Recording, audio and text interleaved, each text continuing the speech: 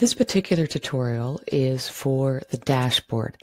Now there's a lot of information on the dashboard, so I'm going to work through it in sections to make sure you see everything that's available. So first of all, I want you to see on the monthly template, a lot of different information has been entered. So we're basically in a complete initialized state and ready to move forward. Also, on the daily transactions, you'll see I've entered in advance transactions for all of January and some transactions for February as well. On the dashboard, we have the current balance, which is just like the current balance on the daily transactions sheet. So this reflects just the account balance, not all of the credit card transactions, but specifically the account. So that's column E on daily transactions. Again, same thing reflected here. So you always have a point of reference. Just remember that this account balance, it's based on the transactions entered for the account, but it's also based on today's date. So if there are transactions entered on the daily transactions worksheet that are in the future, they're not going to be included in that balance display. Before I jump into the sections, I want to show you on the left, again, use the plus sign to expand a section. You'll see there is a legend. So relatively small, but important information here. When you see a reference with a green background, that's going to be actual information. So based on transactions you've entered and data in the past, so to speak. When you see blue, that's going to indicate future or forecasted amounts. When you see yellow, this is going to identify the current month. And when you see a light red background, that will show you amounts owed on your credit cards. Let's work through the first section, year at a glance. So we have a number of references here. First, you'll notice we have all of the months right up until February of the following year. Now, these year references within the file are dynamic. They're going to be based on the starting date and specifically year that you entered in monthly template. So if we look at monthly template, this is designated to begin on the 1st of January 2020. So the years are displayed as 2020 until the January and February of the following year. For each month column, there's information to represent what's happening in the account. So first of all, you have the starting balance. The starting balance literally is going to be at the beginning of that month what was the balance in the account? Again, not credit card transactions. We're talking about the account itself, the account balance here. And correspondingly, there's an ending balance that will represent the last day of that month in that year. What was the final balance? There are also transactions. Now, this is a little bit different because it depends on whether we're looking at actual information or forecast information. So for example, if you look at the month of January, since our current date is the 18th of February, January is in the past.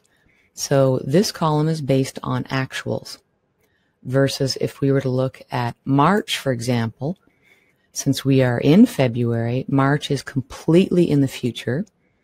And you'll see this is in blue background. So the transactions listed in January, those are actually specific to the actual transactions logged on the daily transactions worksheet. Truly information that's been logged. The daily transactions during March are not based on the daily transactions worksheet. Those are based on the monthly template. All the information that was entered there provides expectations of what will occur. So the total of all of those transactions, the income plus the expenses, are all related to what is anticipated to occur. Now let's look at the current month. The current month is displayed with a blue background because we don't know that these are accurate representations yet because the month hasn't finished. So the current month, again, you'll see it's denoted by a yellow background here for the month. The current month is a composite of actual and forecasted information. So literally up until the date of today, we're looking at actuals. But then after today, it switches and looks at the expectations from the monthly template. Generally speaking, the transactions and the ending balance of the current month are fluctuating until all of the transactions for that month have been entered. Now let's look at the information below the bar here. So there's a monthly minimum balance and a monthly maximum balance. This is just reference information. Let's say you were planning a vacation or planning to contribute to your retirement savings Maybe you want to see, generally speaking, throughout the year, what are your account balances? When do you have money and when are you in danger of being out of money? The minimum and maximum monthly balances give you that year at a glance information for your account. Again, the account, not the credit card expenses, the account balance itself. These do have color coded backgrounds. The color that is displayed is based on what you entered in the monthly template. So let's look again. In the monthly template, remember there is a minimum account balance and there's also an amount at which warnings will appear for that account. So in the monthly minimum balance, if you drop below that account minimum, then it's going to turn red. So for example, in January, in our imaginary account, we dropped below 1500, which was the account minimum balance. If we were above the account minimum balance, but below the account warning, then that cell would turn orange. So again, you'll have that warning of orange, and red, of course, means you've already dropped below. But of course, keep in mind, in the actual activity, that is reality. But when we're looking at the forecasted information, this is just giving you a heads up of situations where you are likely to hit those account minimums and the, the warning minimums. Next two rows are again related to the account minimums and the account balance information. These rows will only contain data if the minimum or the warning numbers have been reached. And they won't contain the numbers, they'll contain dates on which those values are reached. So the warning before minimum, again, the monthly template, the warning before minimum is 2000 and the minimum balance is 1500. So you might be wondering, how on earth did we reach the minimum balance? It says it was reached on the 1st of January, but the balance was 2,434. Well, let's look at the transactions. So if we look at transactions on January 1st, 365 and 90 and 50 that's just over $500 $505 with a starting balance of 2434 that takes us below 2000 and 2000 is our minimum for warnings. So that's why that's displayed for the minimum warning balance so that's accurate. And when is the minimum balance reached? On the 15th of January. So again, if you went back through all the transactions and totaled what the balance would be on the 15th, it is below 1500. So it displays that for you. So these are really great to give you a heads up in the future of when things are looking a little close to those minimums or the warnings, and you can adjust your spending. So that's year at a glance. Let's look at our next section, credit card balances and due dates. So every credit card is listed here. So remember, there are six possible credit cards you can enter. And in this worksheet, we had Amex, Visa, MasterCard, and Costco. The last two were not entered. They were the original default, numbered five and six. For the purposes of this example, I'm just going to focus on one. Let's look at Visa.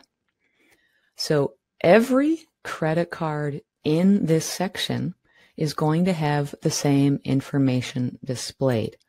So every credit card will have these four entries, balance, due date, cycle start, and cycle end. Due date is going to come from the monthly template as is the cycle end date. So remember on the monthly template, if we scroll down to the credit card information, remember you entered the date of the month on which the payment would be due. You also entered the date of the month on which the cycle ended. So if we look at Visa, which is credit card payment number two, the due date is the 15th. The end of the cycle is the 22nd. And that's what you see here, the 15th, the 22nd. The cycle start is calculated for you based on the cycle end date. The balance is calculated based on the transactions that occurred between the start of the cycle and the end of the cycle. Everything in this section, this credit card balances and due dates section, is based on actuals only. If you entered transactions in the daily transactions worksheet, then the calculations are included and displayed here. If the balance is not zero, then the cell will be highlighted with a red background so you can easily see when you have credit card payments that are coming up. You'll see the, the red background entries. Now, depending on the country in which you have the credit card and the rules and regulations around that particular credit card, you might find sometimes the, the due date or the cycle start or the cycle end date, sometimes perhaps they don't match reality. So they've been set up here based on your expectations defined in the monthly template, but sometimes there are adjustments. When that occurs, to keep everything tracking properly in your file here, you can simply override these dates. Literally go into the cell and over top of the cell, just type the date. And the fact that you can and should override dates in that situation is why I recommend you keep a copy of the original template of this budget file so that if you run into a situation where you've made an override and perhaps you can't remember what the formula was, of course, why should you have to remember what the formula was? When you are beginning the next annual file, you'll have that template for you. So you'll have the reference of the template. You'll also have the reference of your existing file that you were using. Again, every credit card has these same entries, same information. So let's look now at the last section, the actual versus forecast. So based on the legend and the highlighting, you'll see green is actual, blue is forecast. Let's look at this in a little bit more detail. On the left in this green table, this is all the information that was entered into the daily transactions worksheet. Again, remember this is account activity. So you're not going to see credit card transactions here. You'll see account activity only.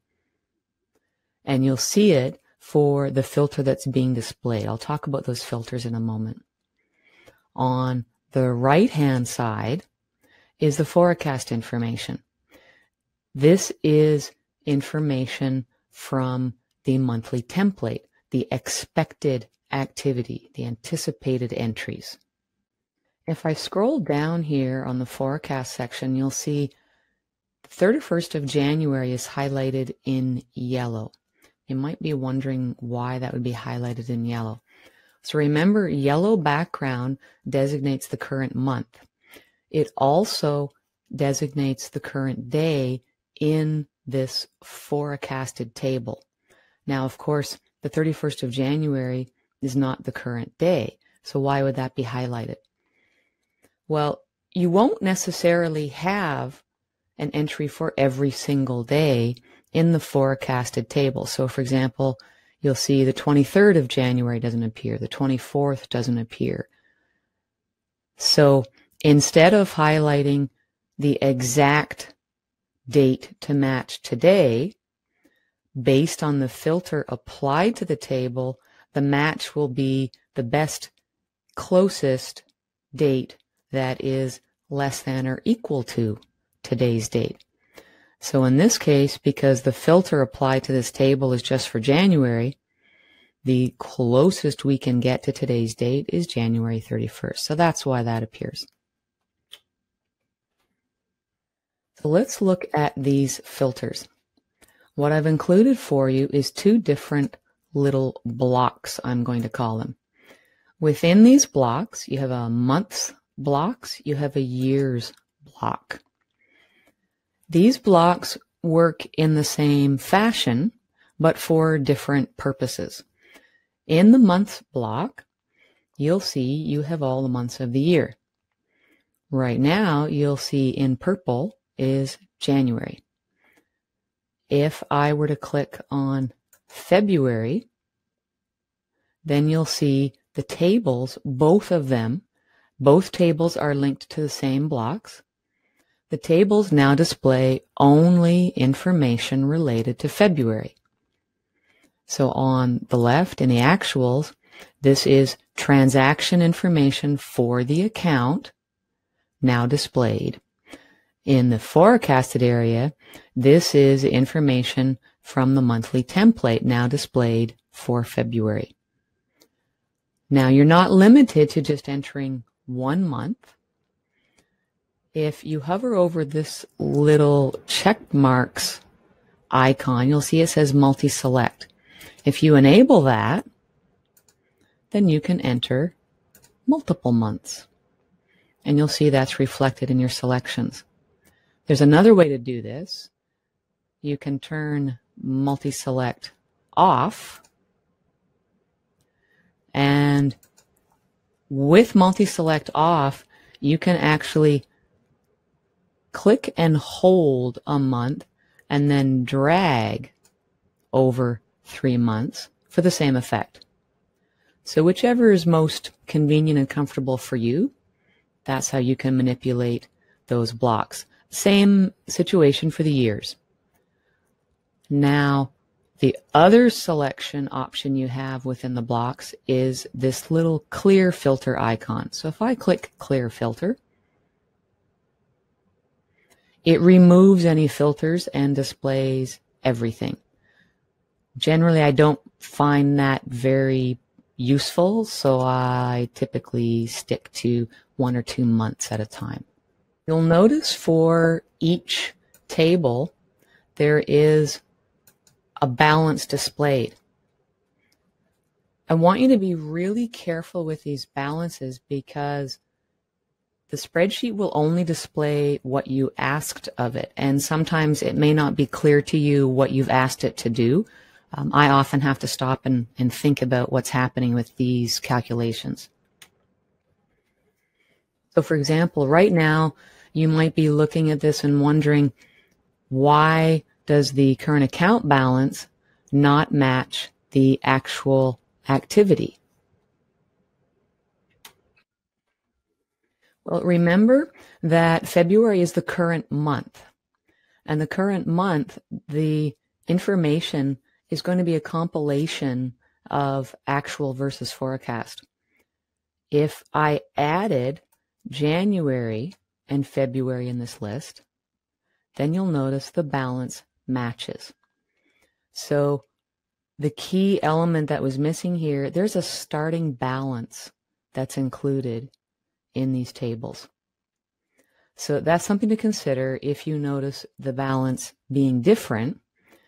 Look at what months you have displayed, but also remember that the current activity here is going to be based on a full month, whereas the account balance is going to be based on only activity up until a particular date of that month. So there could always be differences between these balances for a particular month until that month is in the past. And then, oh, my apologies, that's not for the account balance. Let me show you what I'm referring to.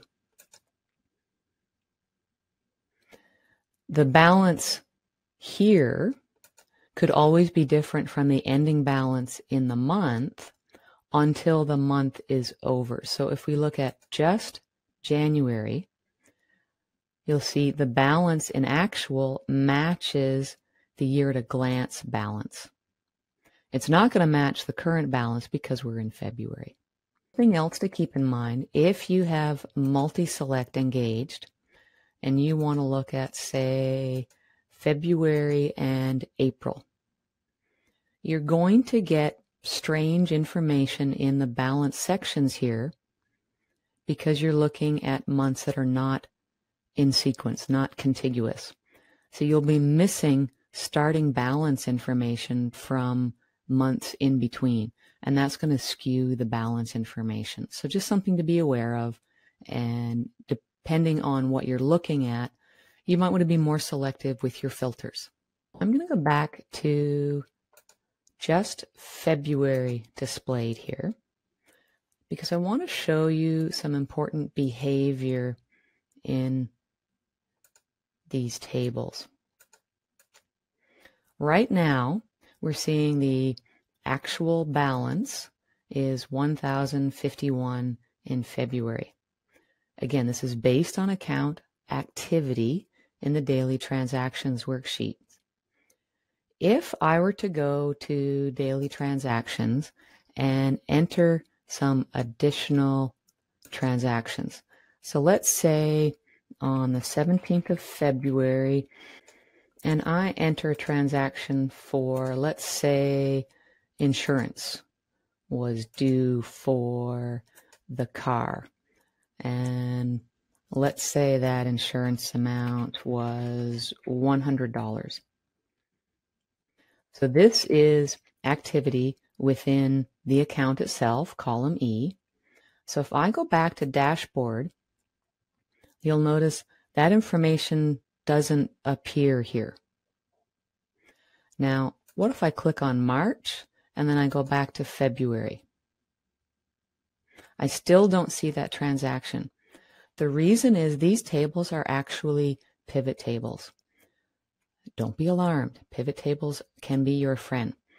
So whenever you make transactions in the daily transactions worksheet, you need to refresh these tables to see changes.